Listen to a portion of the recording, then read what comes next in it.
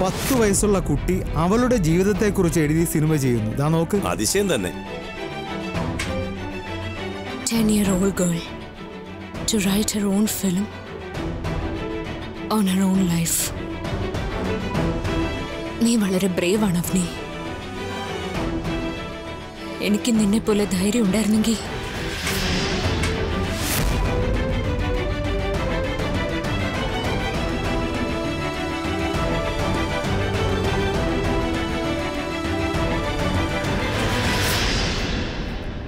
ഈ കുട്ടി ഒരു സമയത്തും വെറുതെ ഇരിക്കില്ലെന്ന് തോന്നുന്നു. സ്വയം നശിക്കണമെന്ന് പ്രതിജ്ഞ എടുത്തിട്ടാ ഇവിടെ ഇറങ്ങിയിരിക്കുന്നത്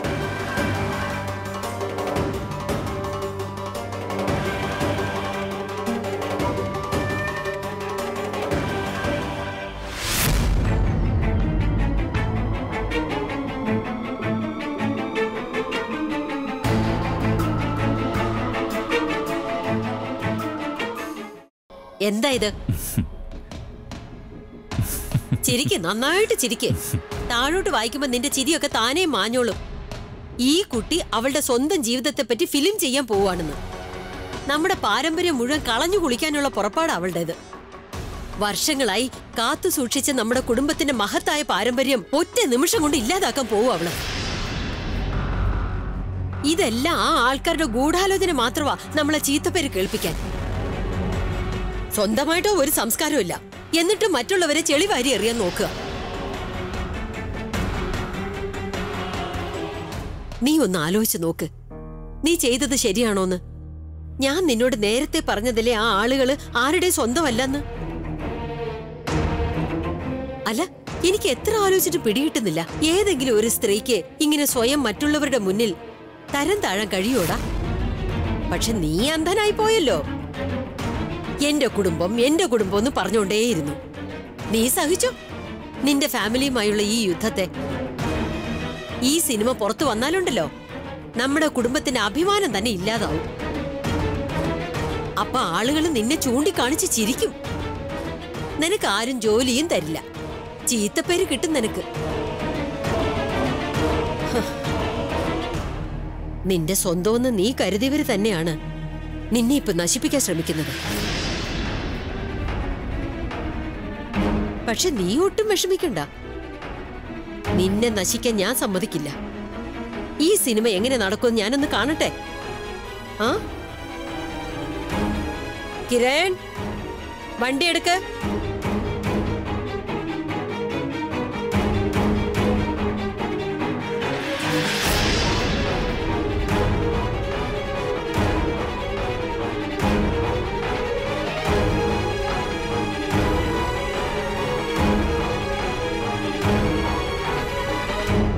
നിന്നോട് പറഞ്ഞു പറഞ്ഞു ഞാൻ മടുത്തു.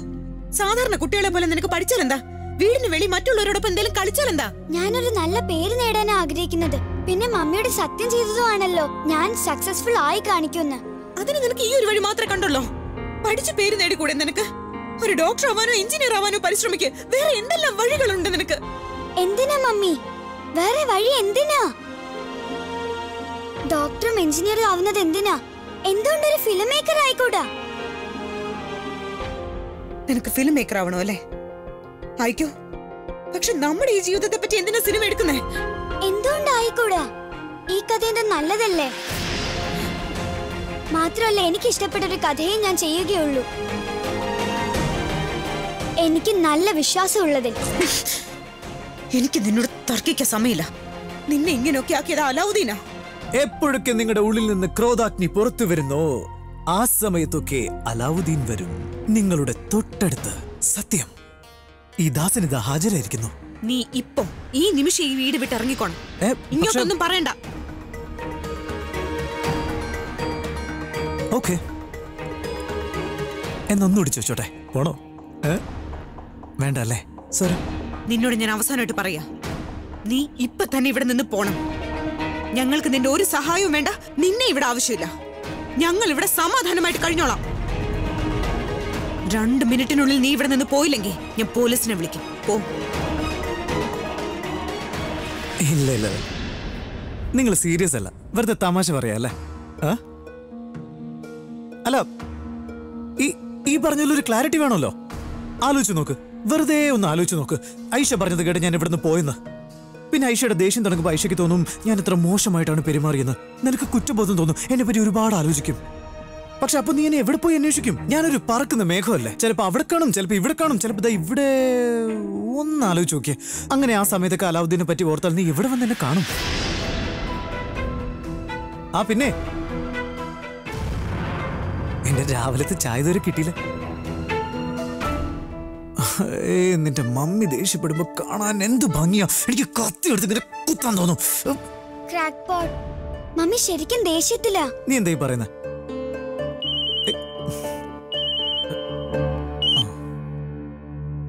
ഹലോ യെസ് ആഹാ ഇല്ലല്ലല്ലല്ല ഇല്ല ഇല്ല ഇല്ല ഇല്ല ഇല്ല, ഇല്ല അതെയോ? യെസ് ഓഫ് കോഴ്സ് റിയലി ആ Avani Ayisha. Yes yes sure ഞാൻ നേരിട്ട് ഒന്ന് കാണാം. ഓക്കെ സംഭവിക്കേണ്ടത് സംഭവിച്ചു. സംഭവിക്കാൻ പാടില്ലാത്തത് സംഭവിച്ചില്ല. അങ്ങനെ സംഭവിക്കാൻ പാടില്ലാത്തത് സംഭവിച്ചില്ലെങ്കിൽ പിന്നെ സംഭവിക്കേണ്ടത് തന്നെ സംഭവിക്കണ്ടേ? മനസ്സിലായില്ലേ? പോയിട്ട് വരാം. ജയ് ഹനുമാൻ സ്വാമി. ഊഹൂ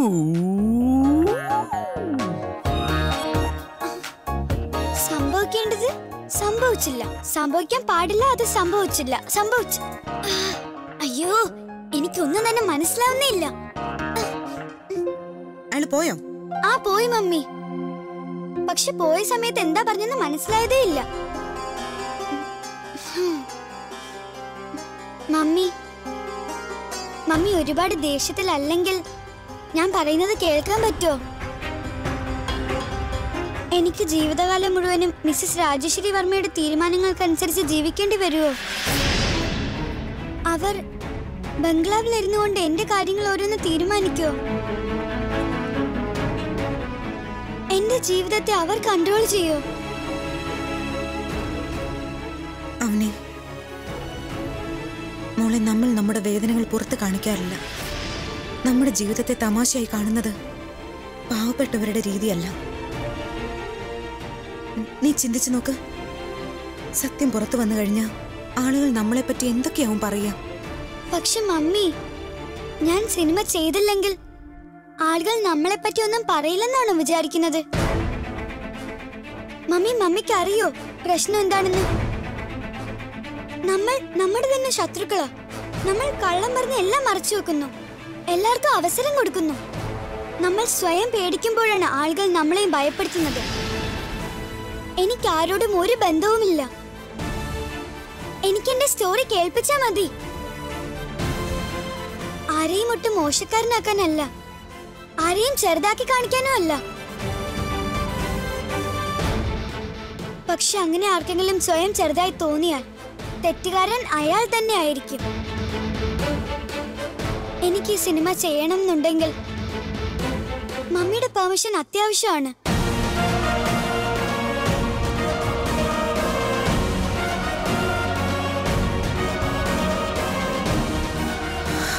ഞാൻ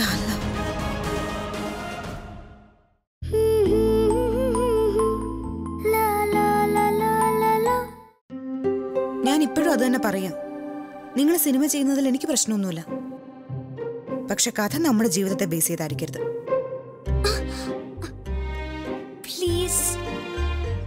പിന്നെ മമ്മി അലാവുദ്ദീൻ ഇപ്പൊ ഒരു ഫൈനാൻസറും കിട്ടിയിട്ടുണ്ട്. ആ രണ്ട് ഫൈനാൻസേഴ്സിനെ കിട്ടി. ഒന്ന് രാംകുമാർ പിന്നെ ഒന്ന് അൻവർ സേട്ട്. അപ്പോ ഫിലിമിന്റെ ബഡ്ജറ്റ് നോക്കി നമുക്ക് ഫൈനാൻസേഴ്സിനെ ചൂസ് ചെയ്യാം. എന്താ? വെളിയിൽ വെച്ച് വേറെന്തോ പേരല്ലേ പറഞ്ഞത്? ഈ ഫൈനാൻസറിന്റെ പേര് മറിയെന്ന് വെച്ച് വെള്ളക്കാക്ക മലർന്നു പറക്കോ ഞാൻ നിന്റെ മമ്മിയെ കോമഡി പറഞ്ഞ് സോപ്പിട്ട് ഇപ്പൊ ശരിയാക്കി തരാം. കൊള്ളാലോ. ക്രാക്ക്പോട്ട് വളരെ ശരിയായ ട്രാക്കിലാ. അങ്ങനെ തന്നെ കണ്ടിന്യൂ ചെയ്തോ. നിങ്ങൾ രണ്ടുപേരും വീണ്ടും പിറുപിറുക്കാൻ തുടങ്ങിയോ?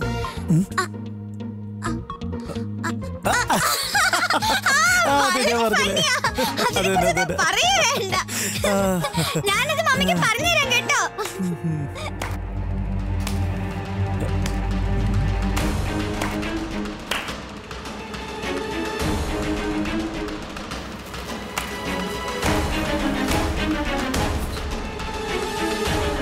ആഹാ. എന്തൊരു കാഴ്ചയാ.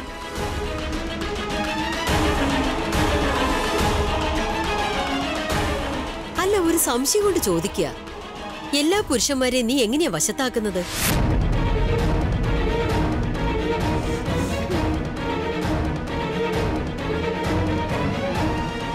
നിങ്ങൾ എന്തിനാ ഇവിടെ വന്നത്? ഇതാണല്ലേ നീ പറയുന്ന normal family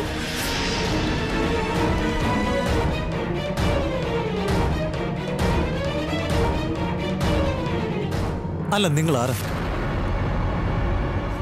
Mrs Rajeshwari Varma. ആ മന്ത്രവാദിനിയോ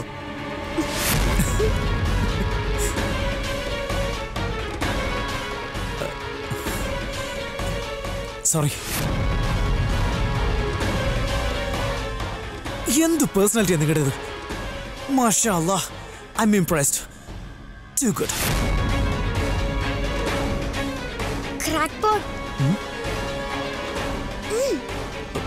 എന്നാ ഞാൻ പോട്ടെ.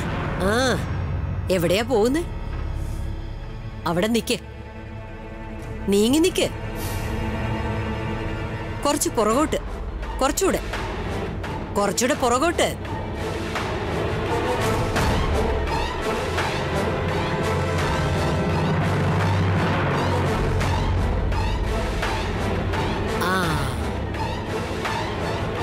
കണ്ണു കുളിരെ ഒന്ന് കാണട്ടെ. ഈ നോർമൽ ഫാമിലിയെ.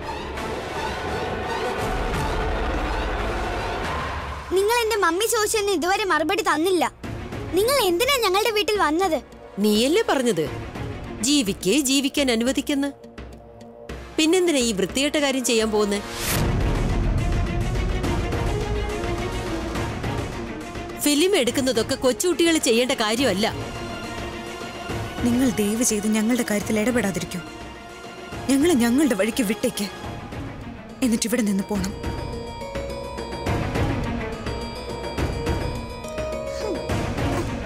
ഒരു മുന്നറിയിപ്പ് തരാനാ ഞാൻ ഇങ്ങോട്ട് വന്നത്. ഇനി നിലയ്ക്ക് നിന്നില്ലെങ്കിലുണ്ടല്ലോ. വെള്ളം കുടിച്ചോ. പട്ടിണി കിടന്ന് മരിച്ചാലും നിന്റെ കയ്യിൽ നിന്ന് വെള്ളം വാങ്ങി കുടിക്കില്ല. ഒന്നും ആലോചിക്കാതെ കുടിച്ചോ. നിങ്ങൾക്ക് പേടി തോന്നുന്നുണ്ടല്ലേ? പേടി കുറച്ച് കുറഞ്ഞു കിട്ടും. കുടിച്ചോ. ഏയ്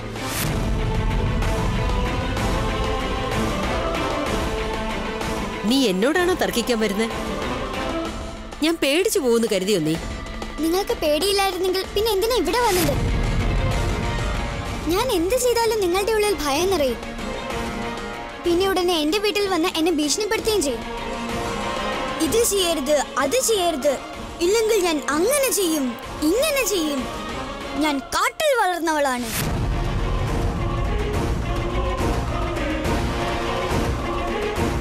മിസ് മേരി പറയാറുണ്ട്. ഭീഷണിപ്പെടുത്തുന്ന ആളുകളാണ് ഈ ലോകത്തിൽ ഏറ്റവും കൂടുതൽ ഭയക്കുന്നതെന്ന്.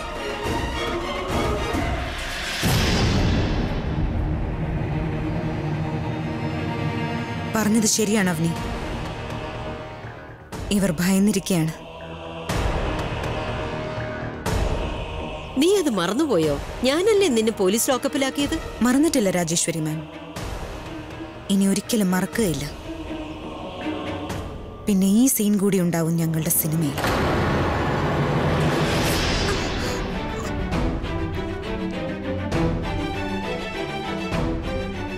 മമ്മി? മമ്മി സമ്മതിച്ചോ?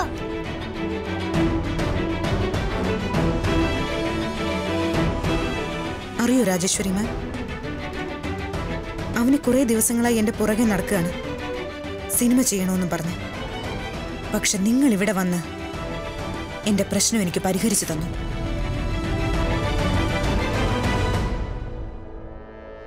ഇനി ഈ സിനിമ ഞങ്ങൾ ചെയ്യും. ഞങ്ങളുടെ കഥ തന്നെ സിനിമയാക്കും.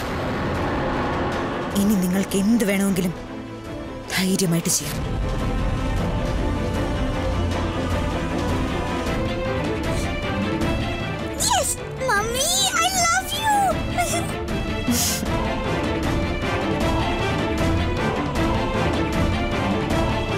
ഇനി നീ ചിരിച്ചോ? ഒരുപാട് ചിരിച്ചോ? പക്ഷെ പിന്നെ ദുഃഖിക്കേണ്ടി വരും. നിങ്ങൾക്ക് ഒരുപാട് ദുഃഖിക്കേണ്ടി വരും കാരണം ഈ ഫിലിം നടക്കാൻ പോകുന്നില്ല.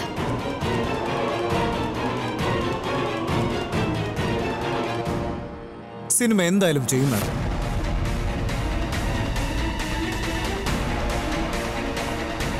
സ്റ്റോറിയുണ്ട് ടാലന്റുണ്ട് ഉണ്ട് ഫിനാൻസ് ഉണ്ട്. ഞങ്ങൾ എല്ലാവരും ഉണ്ട്. ഇനി നോക്കാലോ ഞങ്ങളെ സിനിമ ചെയ്യുന്നതിൽ നിന്ന് ആര് തടയുന്നു? സമ്മതിക്കില്ല.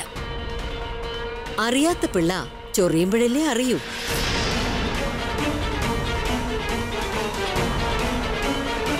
നല്ല ചുട്ട അടി കിട്ടുന്നത് വരെ നീ ഒന്നും മനസ്സിലാക്കില്ല.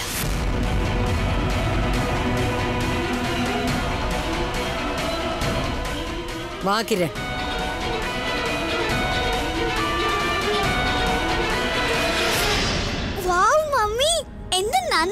സംസാരിച്ചത് ശരിക്കും ഒരു പെൺസിംഹത്തെ പോലെ. ഇനി ഈ സിനിമ ഉണ്ടാവും. ഞങ്ങളുടെ കഥ വെച്ച് എന്റെ സിനിമ ചെയ്യും. നിങ്ങൾക്ക് ഇനി എന്ത് വേണമെങ്കിലും ചെയ്യാം.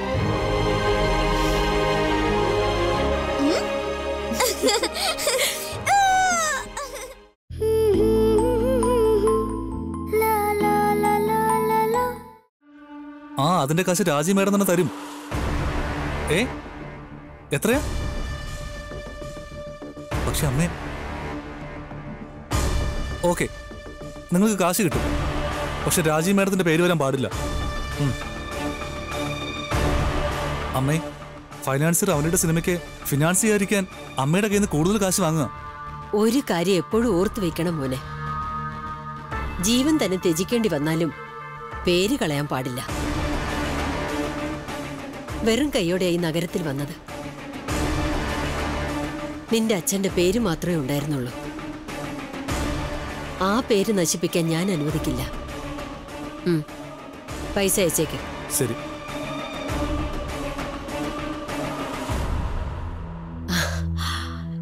എടാ കിരണേ. നീ ഒരു ഫോട്ടോഗ്രാഫർ ആകേണ്ടതായിരുന്നു നല്ല ഫോട്ടോസിന്റെ നീ എടുത്തത്. ഇനി നോക്കിക്കോ. പുറത്ത് ഞാൻ ഒളിപ്പോര് തുടങ്ങും. പിന്നെ നേരിട്ടുള്ള യുദ്ധത്തിന് ആശിഷും തയ്യാറാവും.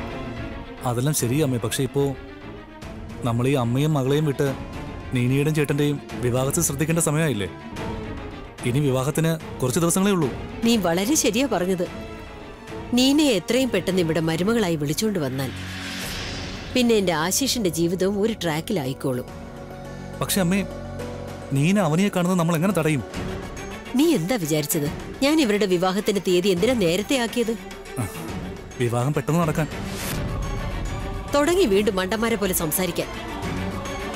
എടാ വിവാഹത്തിന്റെ ഡേറ്റ് നേരത്തെ ആക്കുകയാണെങ്കിൽ നീന അറേഞ്ച്മെന്റ്സിൽ ബിസി ആയിരിക്കുമല്ലോ. പിന്നെ ആ പെൺകുട്ടിയെ പോയി കാണാനായിട്ട് അവൾക്ക് എങ്ങനെ സമയം കിട്ടാനാ? അതുകൊണ്ട് നീയും പിന്നെ ശാലിനിയും കൂടി നീനെ ബിസി ആക്കി വെക്കണം. അവളെ കൂട്ടിക്കൊണ്ട് ഷോപ്പിങ്ങിന് പോണം. അവൾ ഏതൊരു കാര്യം ആവശ്യപ്പെട്ടാലും അത് ഒട്ടിനെ സാധിച്ചു കൊടുക്കണം.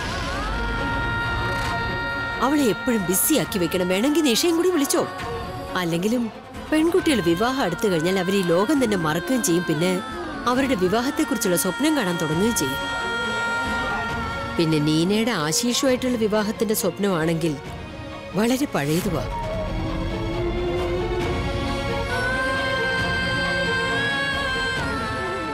അമ്മ ഇതൊക്കെ എങ്ങനെ ചെയ്യുന്നത്. പക്ഷെ അമ്മേ നമുക്ക് നീനിയിൽ നിന്നും ചേട്ടന്റെ പഴയ കാലത്തെക്കുറിച്ചുള്ള സത്യങ്ങൾ എത്ര കാലം മറയ്ക്കാൻ പറ്റും?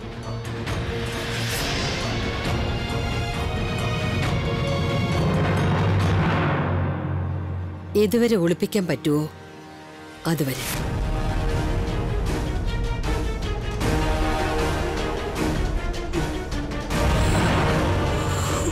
അച്ഛാ അച്ഛൻ പറഞ്ഞിട്ട് ഞാൻ കഥയുടെ മറുവശം അറിയാൻ വേണ്ടി വന്നതാ ഇവിടെ.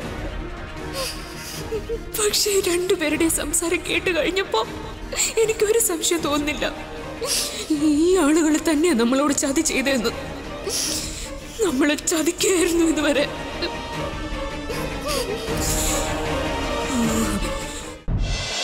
നിന്റെ ഈ രാജേശ്വരി വർമ്മയുണ്ടല്ലോ അവർക്ക് നിന്നോട് ഇഷ്ടക്കേടുള്ളത് കൊണ്ട് അവർ നിനക്കിട്ട് പാര വെക്കുന്നുള്ളത് ഉറപ്പാ.